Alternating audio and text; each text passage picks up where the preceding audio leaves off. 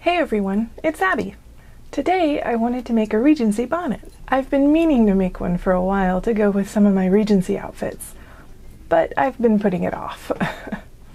I recently got into making my Bridgerton dress though, and I knew I wanted a matching bonnet for outings. So that gave me the drive to finally get going on making one. Sadly, this weekend is going to be in the hundreds degree wise, so I won't be going to the outing I was planning on, but I will use it eventually. I'm starting with a modern hat I bought on Poshmark. I didn't want to start completely from scratch, but why worry about that when you can just edit a modern one? So let's get started. I start with removing the ribbon and chain that was already on the hat. I want to start out with the plain straw part. I clip the threads and remove the hot glued parts.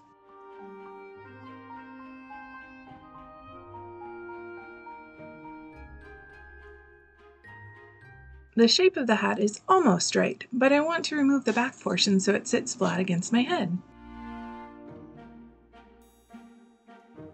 I use a Sharpie to mark where I want the brim to be, and I start to remove the stitching carefully on the brim section so I can reuse that part to finish off the brim when I cut it down.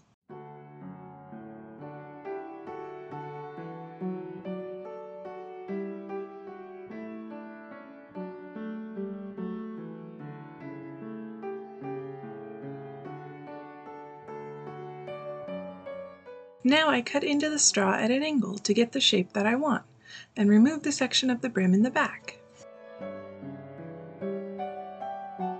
I also removed a bit of the stitching because I wanted to move the brim in a bit at the sides to shape it a bit. I match up the sides and cut them to match so that they're symmetrical. I got a little too much thread removed on the one side. I'll just stitch it back up when I get to it.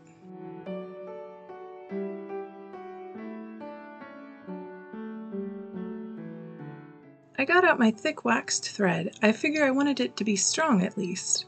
You could also just use regular thread, I would imagine. I'm using a single thread and a needle. I anchor the thread and sew the bottom straw strip to the edge of the brim that I cut.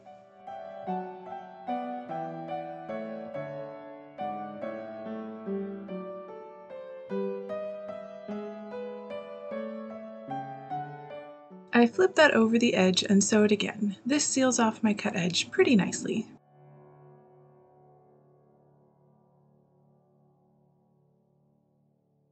And I trim the end off.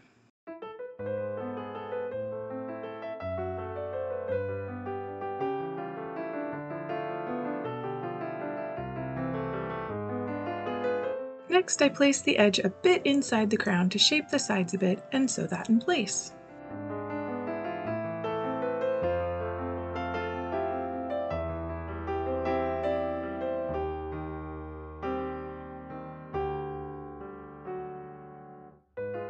I sewed up the other side the same way, with the extra stitching because of the thread that came apart. Now I figure out how I want to decorate it. I love colors and flowers, and most of my outfits would benefit from pink and green in this bonnet, especially my Bridgerton dress. So I have an assortment of pink and green flowers, silk ribbon, and feathers to choose from. I've decided to use this sage green thick silk ribbon that I found at Joann's for the ribbon that goes around the bonnet and ties it in place. I cut a long piece that I already measured to make sure it would go around the bonnet and tie under my chin. I clip the ends at an angle. I fold in half and place a pin at the center. I fold the straw hat to find the center front, then I match the centers up and pin in place.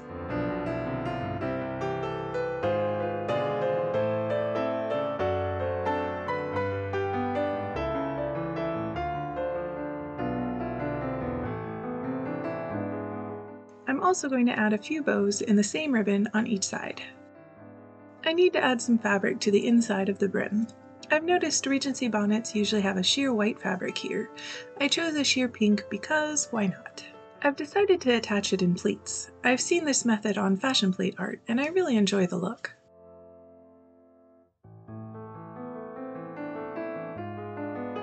I pinned all the pleats going both directions from the center. Wasn't exactly precise, as I was working with a limited fabric scrap piece from another project, but I had just enough.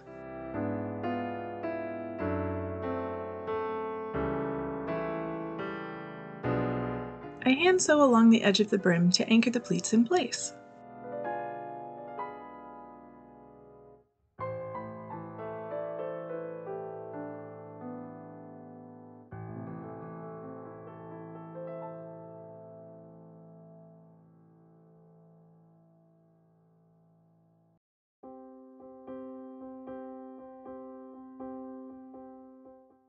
The pleats are anchored to the brim, I need to pin the fabric to the inside of the band to keep it in place.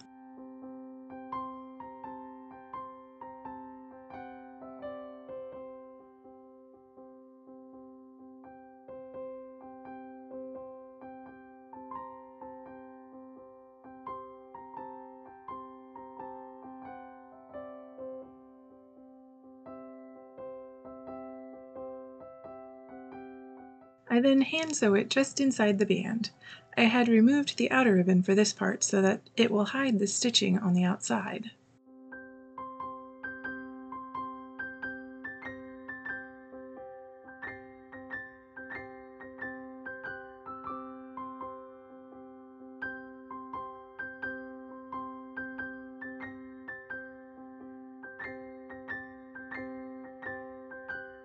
With the fabric all stitched down, I trim around the brim of the bonnet.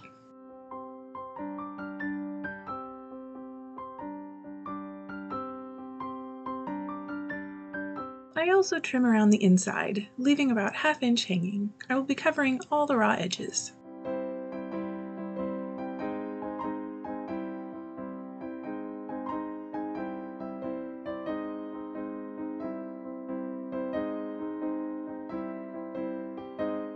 This light pink shirting that I got for gloves at Mood. I'll be using this to cover the inside of the bonnet.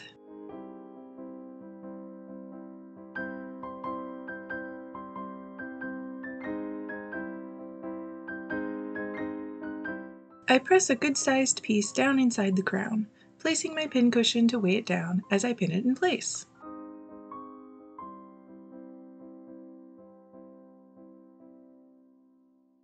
I just kind of pin it where it seems to fit. I add a few folds here and there as needed. I don't need it to look particularly pretty.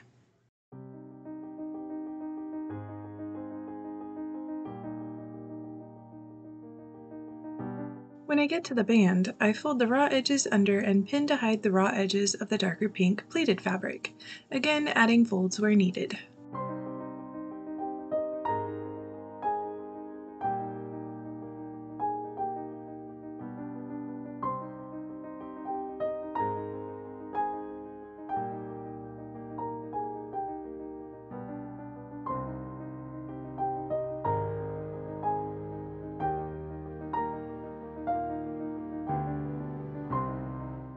Whip stitch the fabric in place along the band.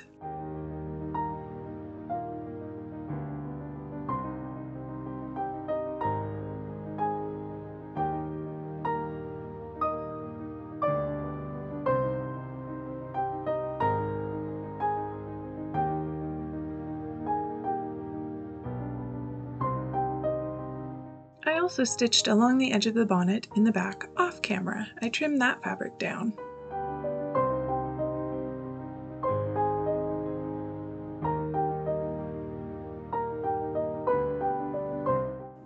To pick the right color ribbon to hide all the raw edges along the brim. I think I like the green one best.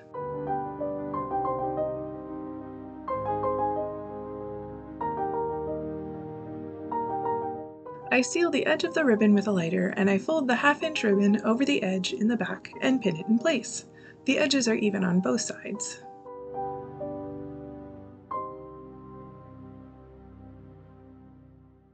I start hand sewing the ribbon on. I make sure I'm sewing slowly and catching both sides so it hides the raw edges on the inside and looks pretty on the outside.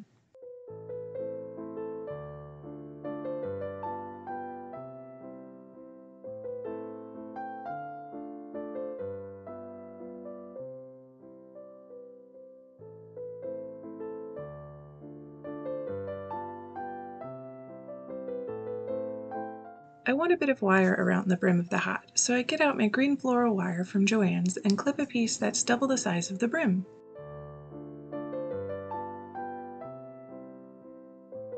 I twist it together so it becomes one piece.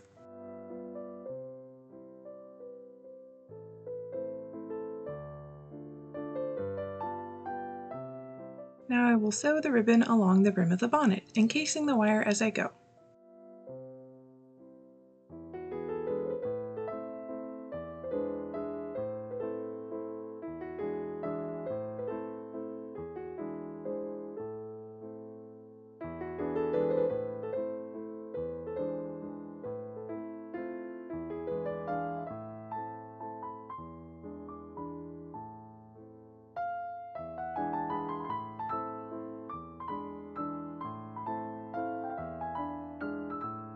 I measure 9.5 inch pieces of green silk ribbon and cut two for the bows on the sides.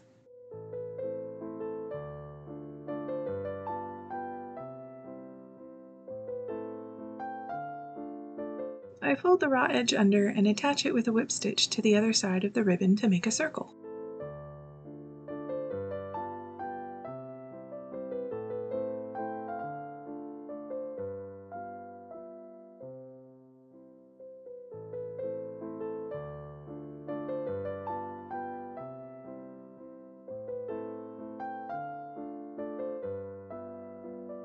I flatten that out and make sure the seam is on the bottom. Fold in the middle, wrap the thread around it to keep it in place, and anchor it.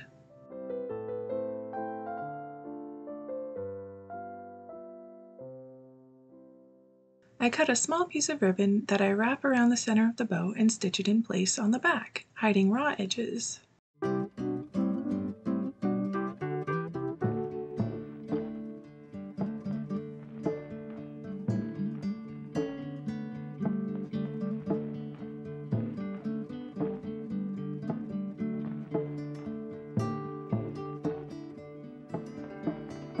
There's a nice little bow. I sew that bow on the side of the bonnet. This also anchors the tie ribbon to the bonnet at the same time.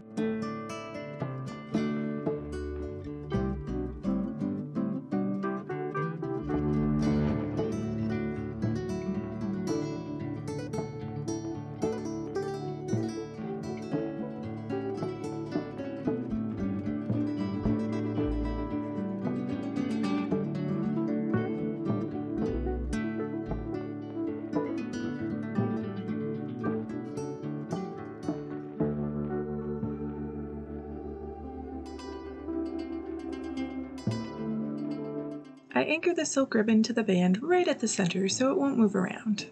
Off camera, I added a second bow to the other side.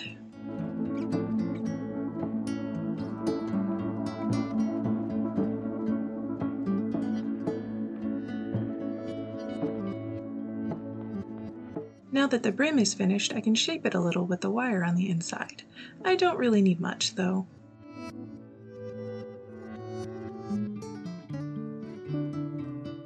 To figure out where to place the flowers. I'm testing a few different floral placements before I make a final decision.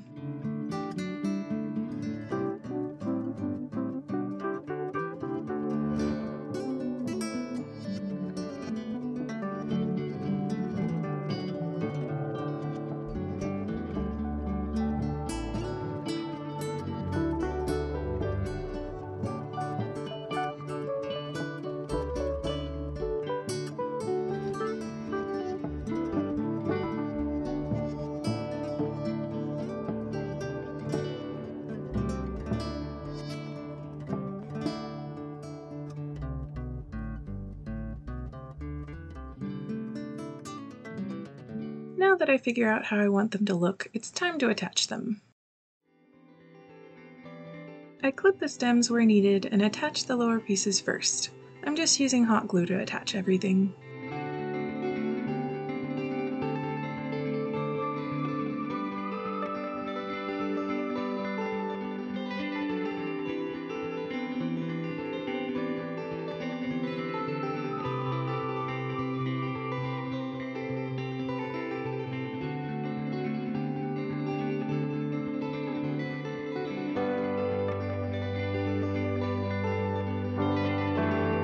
I test placement a bit and I go and hot glue more flowers in place.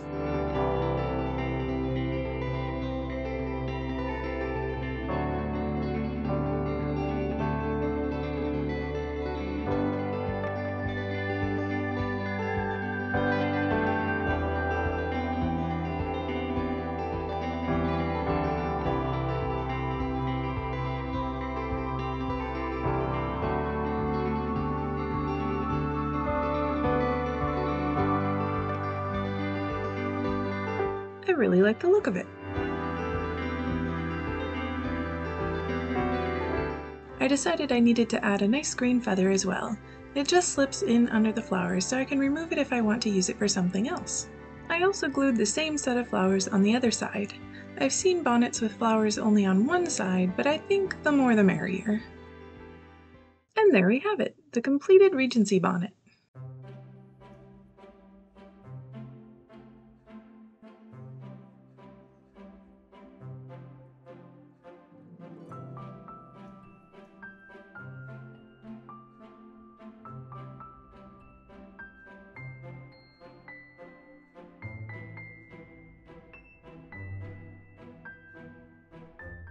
Thank you for joining me today as I made my Regency bonnet. I'm really happy with how bright and colorful it is. I think it'll brighten up my plain dresses and match my bright dresses really well. I have my Bridgerton dress coming up. I'm very excited to finish it. I also want to make a matching reticule and a few other accessories to go along. So keep an eye out for those videos coming soon. If you liked this video and want to see more costume and sewing videos, remember to subscribe to my channel. If you have any questions, let me know in the comments below. Happy sewing! Beanie! Hello.